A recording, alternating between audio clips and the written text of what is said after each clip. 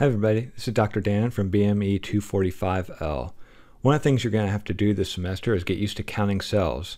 We'll count cells two different ways in 245L. The first way is using a hemocytometer, which works well when you're passaging cells when you've already removed them from the flasks, but many times you're going to want to count how many cells you have without disturbing them. So I'm going to show you one way to do that um, by taking a picture of the cells and then counting them in ImageJ.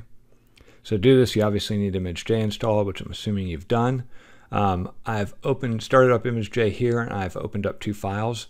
One is a picture of some cells at 5x magnification, and the other is a picture, picture of the hemocytometer slide at also at 5x magnification. Now, if we take a picture of both the slide and the cells at the same magnification and the same, uh, they're both in focus, that means the scale will be the same between the two. So we can use the hemocytometer slide to set the scale for the image so we know how big of area we're measuring. So that's what I'm going to show you how to do first to set the scale. So for the hemocytometer slide, we know that this distance across one of these boxes is one millimeter wide. And so now we just want to see how many pixels it is. So we can use ImageJ to measure that. So first thing I'm going to select is a line. I'm going to go ahead and draw a line that should be exactly one millimeter long.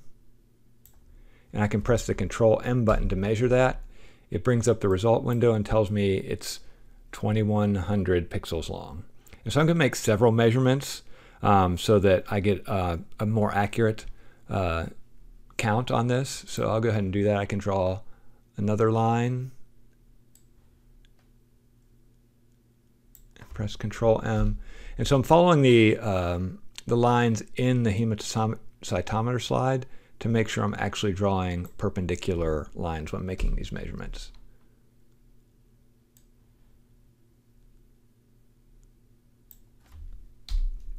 Okay, I could also draw them vertically if I wanted. That's probably good enough. So I'm going to bring back that window up. And so I got four measurements, all about the same length. So I can hit results and summarize. And under the mean, so what it's telling me is that 2105 pixels equals one millimeter. And so we can set the scale using that. So if I go to analyze, set scale, okay, we know our distance in pixels. So it filled it in because it's doing with the last line I drew, but I'm going to put that average. It's 2105 is going to be one millimeter. So I could do this in millimeters. I could also do it in micrometers. It's, it's kind of up to you. Um, I could put a thousand micrometers, which would just be UM instead of MM.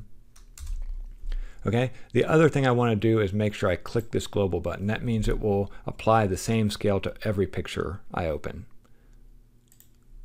Okay, now we can look at our slides and see that we're looking at an area of 1.85 by 1.23 millimeters. Now I can start counting cells in this picture to figure out how many cells are growing per square millimeter. So I find it pretty convenient to use the built-in uh, cell counter in ImageJ. That's located in Plugins, Analyze, Cell Counter. Okay, the first thing you have to do is initialize it um, and it will open up like a new window. So what I want to do is I usually put the keep original on there so that it's going to draw some annotations on my picture and so I don't want to ruin my original picture. So I hit that keep original on there and hit initialize. Okay it opens up a new picture and then I can start counting And so really the way to start counting is I click, okay, I want to type click one, and then you just click on every cell in the picture. Okay, so I can click on each cell and you can see it puts a mark there and so you can keep track of the cells you counted and the cells you haven't counted. Now sometimes it's hard to tell what's a cell and what's not a cell, so you just kind of have to be consistent. Um, some of these circular ones may be dying, maybe just now attaching, it's hard to tell.